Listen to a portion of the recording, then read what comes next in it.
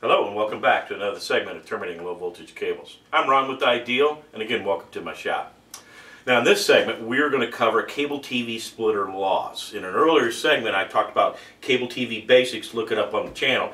And we basically uh, told you at that point we want to buy uh, 1 gigahertz frequency splitters that are bidirectional and analog uh, capable, so they're good, uh, in good, good quality splitters.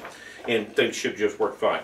Now, when you look at the signal loss caused by splitters, it's uh, fairly basic in, in, in, if you if you think about it. And so, and I don't care if it's a good two-way splitter or a bad two-way splitter. Two-way splitter does what it does.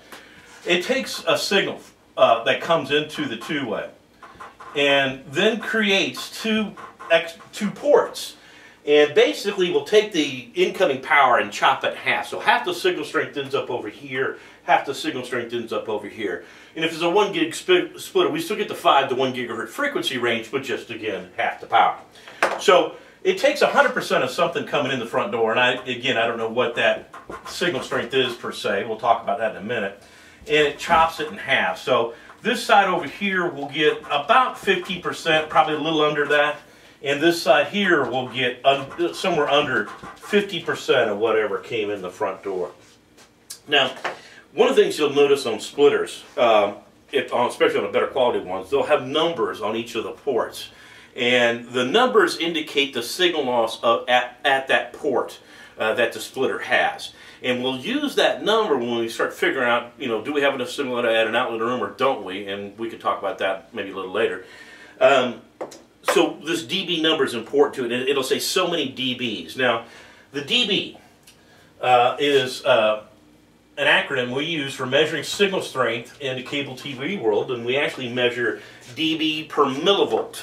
Uh, and I think it's kind of interesting when you look at your cable system today. You know, you get you hundreds and hundreds of channels, and you get that high-speed internet and that digital phone coming down this wire. And, you know, have you ever taken a wire that's plugged into the outlet and you got the end of it here stripped? You're going to take your finger, I got to stick, see if you feel anything here. Well, you're not going to feel anything there because these guys work on very small amounts of voltage. In matter of fact, millivolts of signal strength. But we work at very high frequencies. We talked about working at, you know, 1 gigahertz in frequency or maybe 500 megahertz, whatever. That means the little signals in the cable are turning on and off at 500 million times a second, which is real, really, really fast.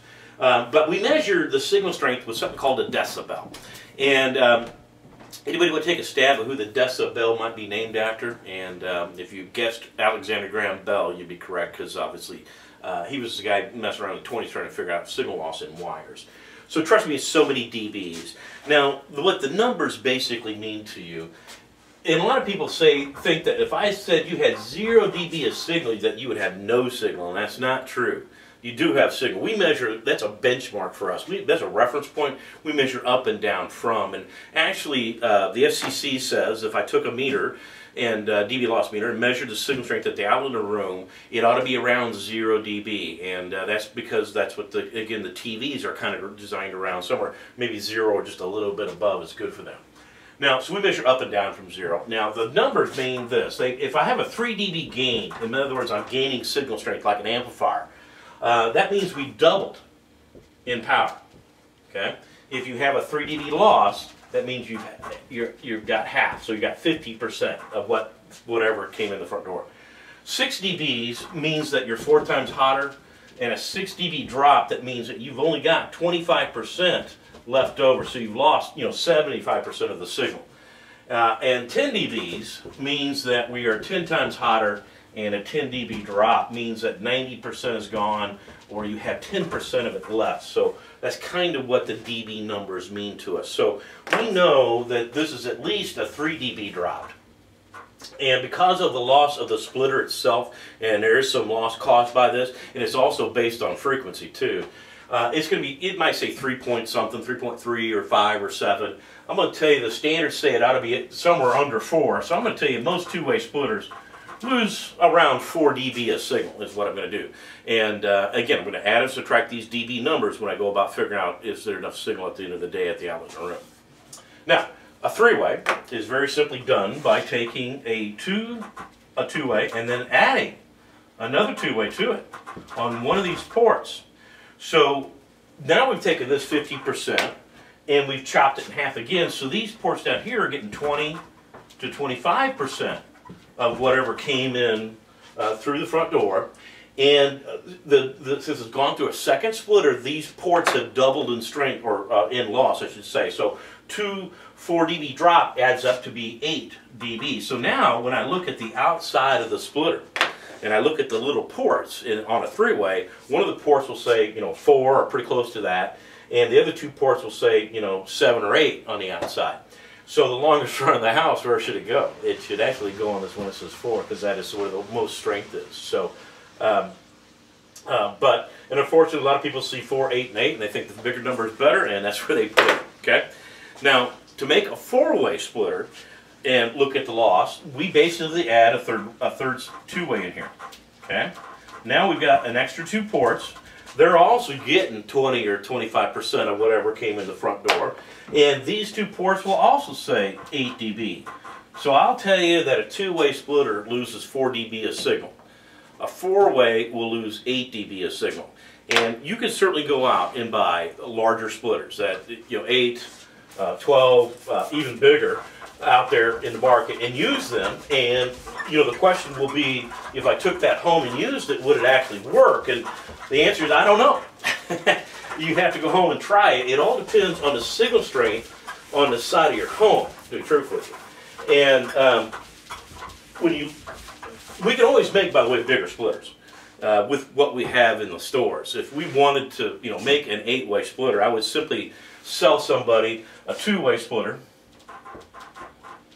and a little bit of wire and two four-way splitters and create my own eight-way splitter. Okay? And again, when I look at the loss in these, these splitters, I know two-way splitters lose uh, 4 dB of signal. And I know the four-ways lose 8 dB of signal. Okay? So if I look at a signal passing through uh, this and going through really any of the ports, they're going to lose a total of 12 dB of signal. Just in the uh, splitters uh, themselves. Okay? And again, will it work? I don't know. Uh, it all depends on how hot that signal is coming in the side of the home. Now, when I look at that signal coming in the the home, and by the way, you can make bigger and bigger, bigger splitters if you want to. Just make a three-way feed three, four, two four-ways, or three four-ways, and you got 12.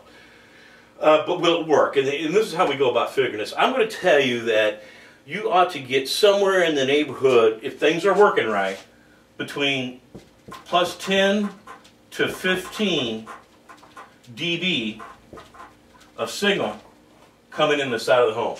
Your cable companies are giving you so much signal strength on the side of the home, you should not have to worry about amplification.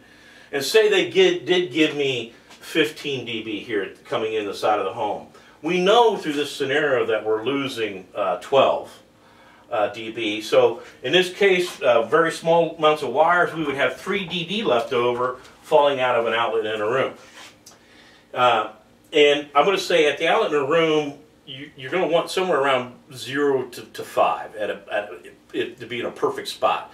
Uh, depending on the quality of the TV, and this has a lot to do with it, is the quality of the tuner in your TV. Some tuners can see, you know, minus 10, minus 15 dBMV and be fine. And the newer digital tuners are more sensitive than the older ones. So if the one question might be is how old is your TV? If that sucker is 20 or 30 years old, uh, it probably, those normally wanted to see somewhere around 5 to 15 dBMV. So uh, one of the questions is, you know, what kind of TV you have has a lot to do with this. And then another uh, help when you start figuring out, you know, is, what is the loss. Um, it, it, we also add the loss in on the wiring itself. And I'm going to tell you that RG6 coax loses somewhere between 4 to 6 dB every 100 feet.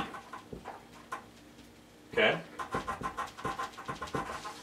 So if I'm going to say 4 dB, uh, a 50 footer would lose 2 dB, a 200 footer would lose 8 dB. You can kind of get the idea of how we start adding up that dB number as well. And again, we subtract all those from that number on the side. Now, this whole 10 to 15, um, there's a lot of reasons why it may not be that high. Um, a, the cable's been under the ground a real long time. It's probably losing more than you think it is. Um, you know, the landscape guy came out to your house last week and he put that tree, you know, here's the pedestal in the backyard going out to your home, and he put that tree exactly where you told him to, right there.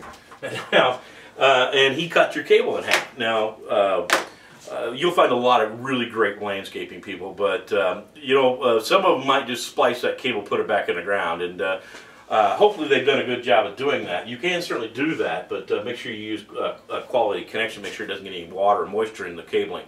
Um, but uh, so there's a lot of reasons why it may not be 10 to 15, but that's how we go about figuring out what the splitter loss is uh, and uh, how much signal do we want in a TV and um, gives us some insights as to how you go about helping a customer and uh, figuring out what kind of splitters they have. And uh, I always love the folks that uh, are out of two-way splitters, so they use some four-ways. Well, they went into another room and they got a bunch of these four-ways, so they used another one on that. And before long, they've got a bunch of signal loss in that system. So there you go. Uh, that's a little bit about signal loss on cable TV splitters. Uh, I'm Ron with Ideal Industries, and we'll see you next time.